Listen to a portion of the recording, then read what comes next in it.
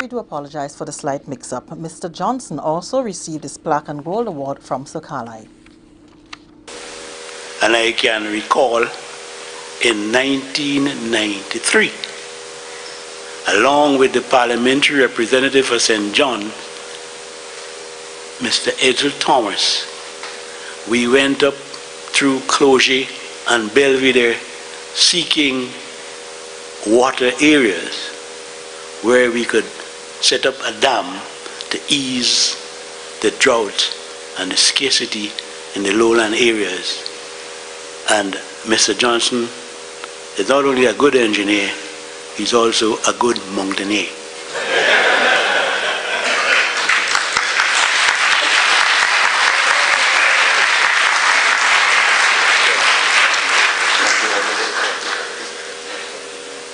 During the event, which was chaired by NWASA's General Manager Christopher Husbands and attended by Works Minister Joseph Gilbert and Tourism Minister Glenys Roberts, the CWWA also recognized former presidents of the association. The next CWWA conference, to be held in 2011, will be in Guadeloupe.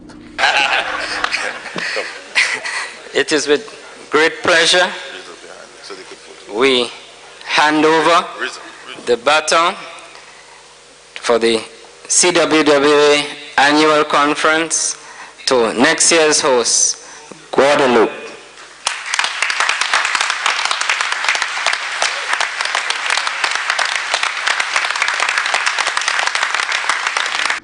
In other news, government is being urged to consider making insurance education part of the school curriculum. That appeal was made by the Executive Director of Newham Insurance, Kenny John. Mr. John says insurance is usually considered as a condition that someone imposes as a result of wanting something else. He says if a customer wants to buy a car or secure a loan, he will take out a policy only because it is mandatory.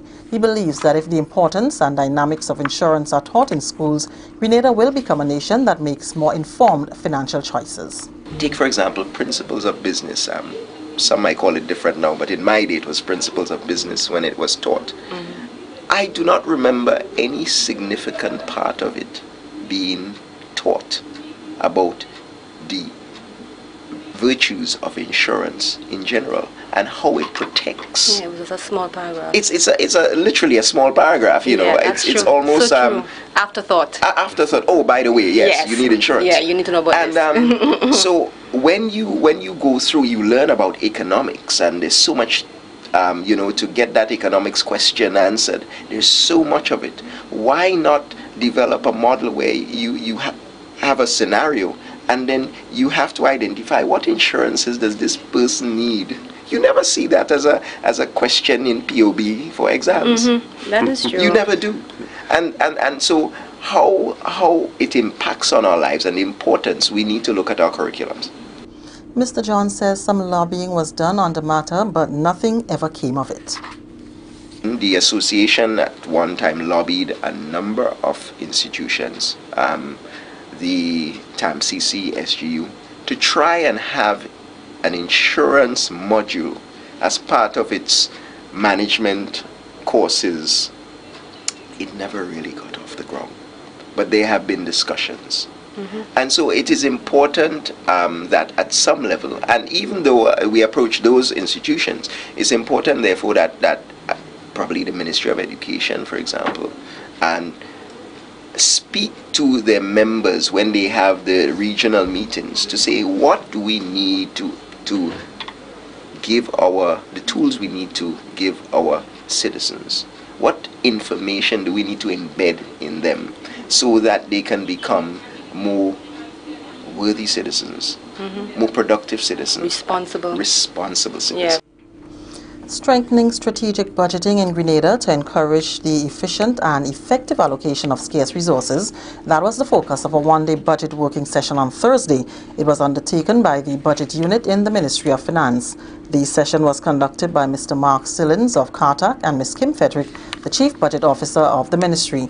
Their presentations covered exercising fiscal discipline, establishing performance measures, focusing on results, monitoring and reconciliation, and creating ways of savings. The Ministry of Finance is also planning to hold a series of budget consultations with sector organizations and the public. The process is part of preparations for compilation of the 2011 budget. There is a concern that young people are not sufficiently aware of the benefits of long-term savings. This issue was addressed by Mr. Larry Lawrence of First Caribbean International. He was a guest on the GIS Spice Morning as part of the continued series marking Financial Intelligence Month. Mr. Lawrence says young people must be taught to save for a rainy day. But because of how we are as commercialized these days, you find that it's difficult to have or foster a savings attitude in the, the younger folks. Uh, my big daughter, for example, uh, she is challenged to keep money in her hands. You know, so I do know, and it's really because of what is out there, the commercials which uh, entice you to spend. Uh, so yes, it is more challenging to save uh, now as opposed to before, because there is a rainy day. There always would be a rainy day and uh, I should say it's just as relevant, if not more relevant, but probably just as relevant. There is that rainy day. There is the need to save now so that you can achieve what you want in the future. And if there is not that habit that's fostered now, such as, for example, at First Caribbean, we have the Sure Start account, which encourages young persons to save so that they can have that dream that become a reality in the future. Residents of two communities in St. Andrew are getting some relief from flooding with the construction of storm drains in these areas. Details from Karine Moraine, the Public Relations Officer in the Ministry of Works.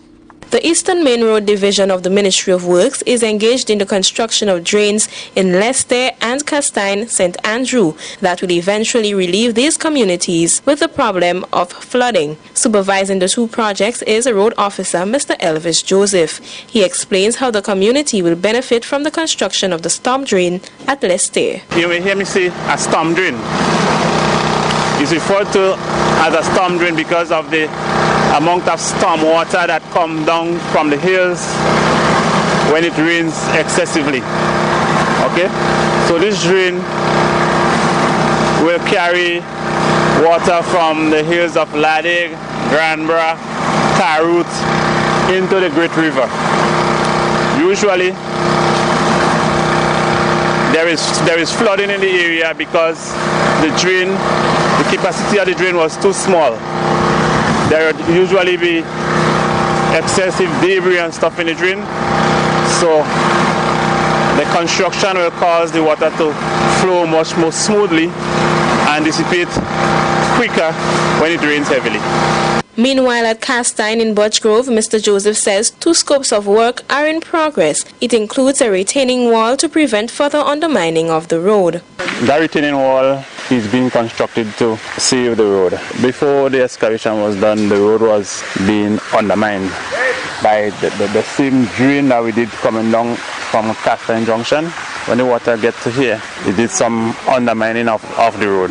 So we had to do the retaining wall to protect the road from cracking and breaking away. And we subsequently turn the drain down the hill to the river so that um, we wouldn't have any further erosion there. Two box drains are also being constructed in Castaigne. Mr. Curtis Mitchell is the contractor. Right now we are approaching a drain that will help, eventually will help the people in the lower level of the Castaigne from being flooded. So we are about to remove the topsoil, the swampy area in the drain, then we'll backfill and compact the drain area before we pour our concrete. And we will do a massive drain there in order to accumulate the amount of water that they receive around this area when rain falls.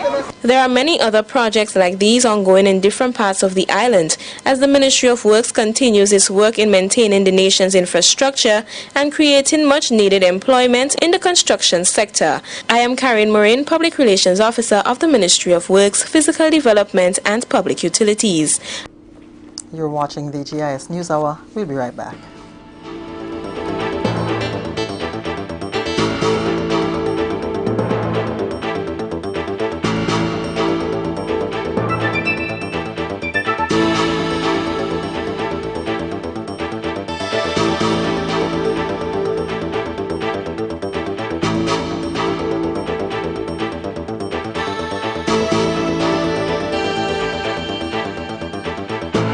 Days of action. Spice Sports Rhythm and Food Festival, October 9th and 10th. Back-to-back matches with West Indian and English cricket legends Devon Malcolm and Joel Garner. Saturday night music and food. Local and regional bands including Antigua's Dread and the Baldheads featuring Curtly Ambrose, Richie Richardson and Heat Wave. On Sunday night, win big bucks in the National Bingo.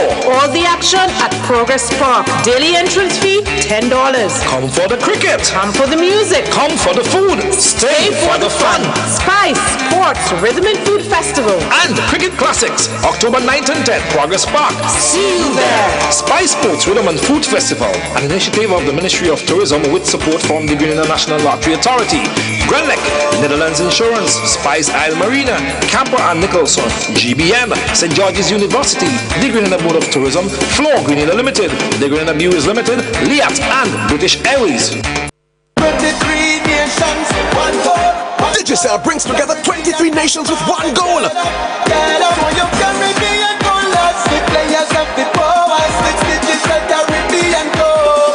Winning the Digicel Caribbean Cup. Let's celebrate the best in Caribbean football.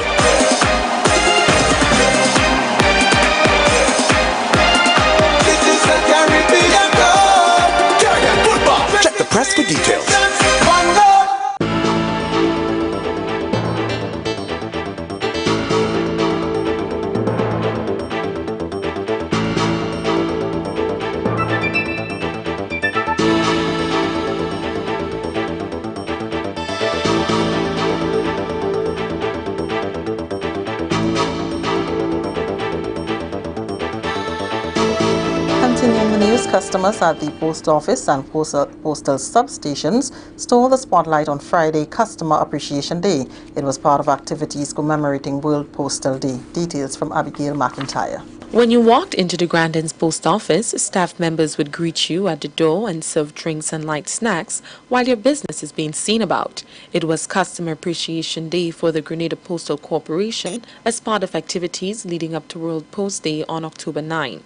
Senior Customer Service Representative at the post office, Mrs. Paula St. Louis, said it was a pleasure giving back to customers. Oh, well, here in Grand Anse, we give the best treatment we honor each person that comes into that door because I mean this is our bread and butter that is walking in and we cherish them all. So we, day, we today we're taking a special effort in giving them a little something to show how we appreciate them, you know. And so um, as we celebrated World Post Day, we are taking that opportunity. Yeah. Director of the Grenada Board of Tourism, William Joseph, was one of the customers who experienced the treatment and shared his views on it.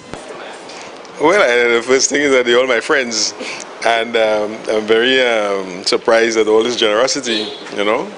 So I think it's good, you know, you just feel um, important sometimes, and um, so good service and um, good treatment. I think it's great. On Saturday 9, post office workers will join together to celebrate World Post Day. Mrs. St. Louis assures the public that it's going to be a grand occasion. Tomorrow we have in um, the post office throughout Grenada, Carriacou and Petit Martinique is coming together to celebrate.